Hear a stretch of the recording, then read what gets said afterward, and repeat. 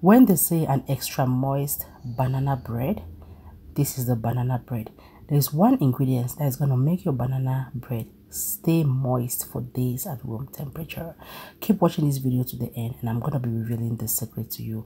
Trust me you're going to love this recipe. First off you want to start by mashing up some three overripe bananas. I'm going to be using a potato masher for this.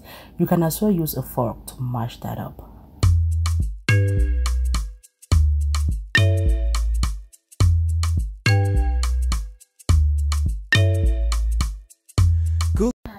This is looking so good. You want to go ahead, set that aside for later.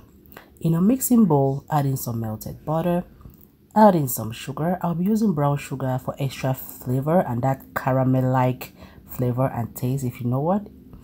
So now add in some eggs and you want to whisk that together until it is well combined. Pastries and African, Asian. Now bring in the mashed bananas. Pastries and. Easy to follow from kids to adults. Ego yummy yummy. Ego yummy yummy.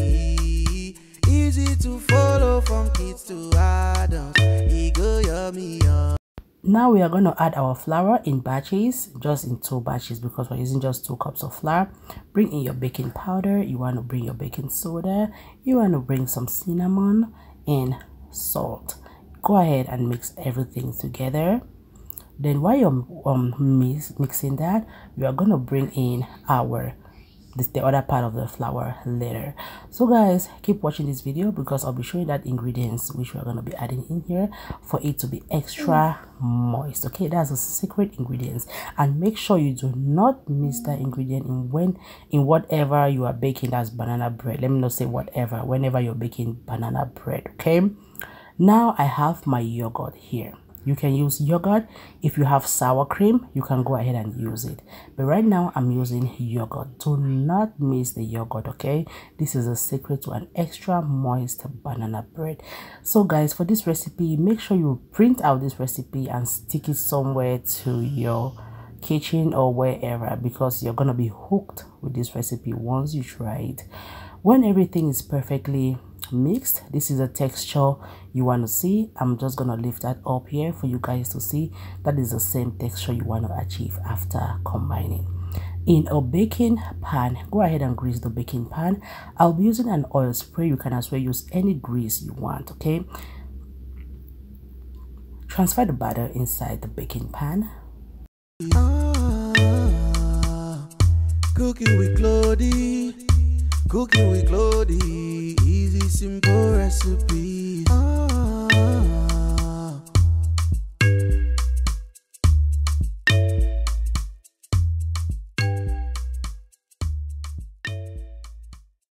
Let us go to a preheated oven at 350 degrees Fahrenheit for 50 to 60 minutes until a toothpick inserted in the middle comes out clean. Either use a toothpick or a cake tester.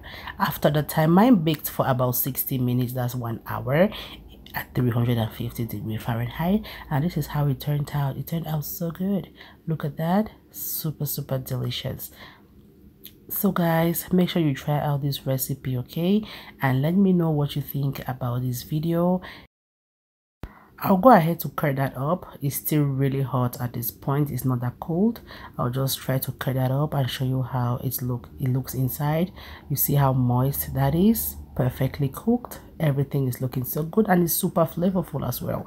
You can go ahead and serve this with whatever. So guys thank you so much for watching. And until meet again in my next video. Bye for now and you take care